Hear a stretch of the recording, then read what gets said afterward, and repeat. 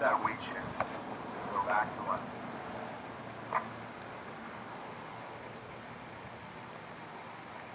There we go. Keep going. All right, now come back to your right, and we're gonna line up for our landing. So let's get our eye on our object in the middle of the runway that we want to land on. Get ready to fly fast. Put those hands up. Get that hanging pressure. Looking at the middle of our runway.